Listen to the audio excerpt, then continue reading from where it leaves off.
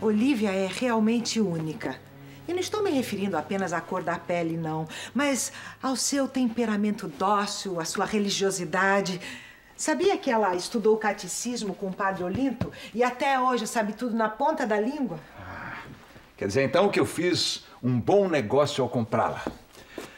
Apesar de você ter ficado cheia de dedos quanto à transação, não é? É que no princípio ela me pareceu revoltada, insolente. Mas hoje ela parece até feliz. Parece que tem afeto por nós e se sente grata pelas pequenas regalias que lhe proporcionamos. É. Quer dizer, a escrava perfeita para esse outro doce que é minha mulherzinha, para quem só quero do bom e do melhor. Você pensou, Bárbara, se ela tivesse caído nas mãos de um senhor de escravos duro, insensível? Ai, Deus me livre. Ela não ia suportar. Frágil do jeito que é, não ia aguentar tantos castigos.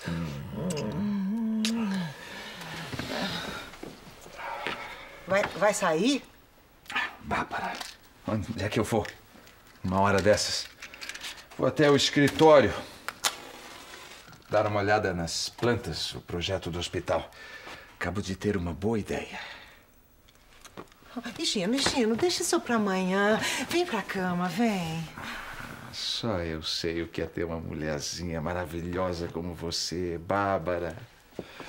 E dizer que vai ser avó, quando está cada vez mais bela, plena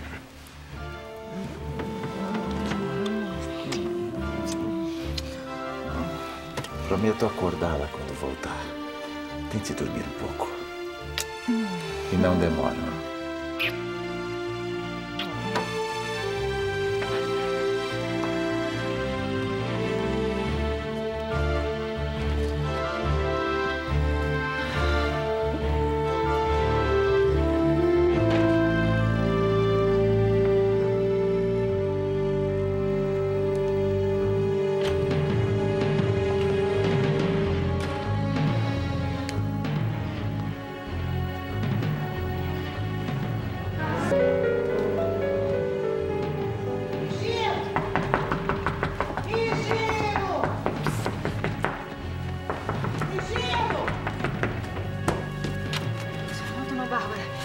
Se a senhora precisar de alguma coisa, é só o tempo de me vestir e já saio. Eu precisava falar uma coisa com o Higino.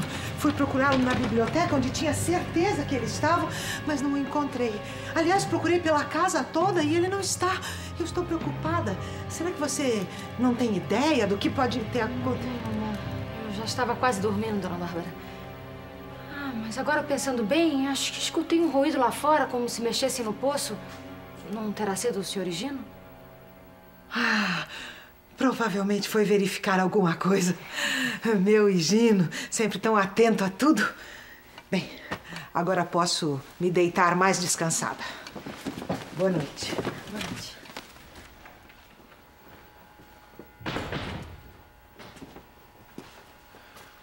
E essa mulher que não dorme? Bem, agora já não há mais tempo. Ah. Tarde eu volto para vê-la. Temos muito o que conversar.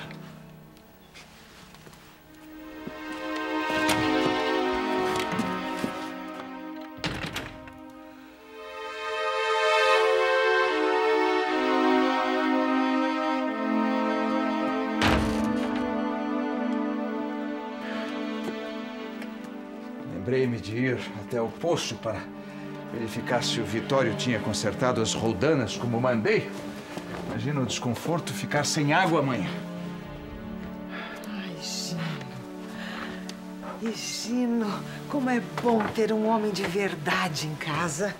Ai, meu querido, você é o melhor dos maridos. Hum, sempre atencioso, prestativo, carinhoso. Hum, dá um abraço, vem.